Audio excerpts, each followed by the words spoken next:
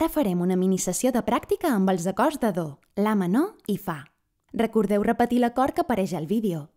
Estigueu molt atentes a l'entrada per saber quan us toca.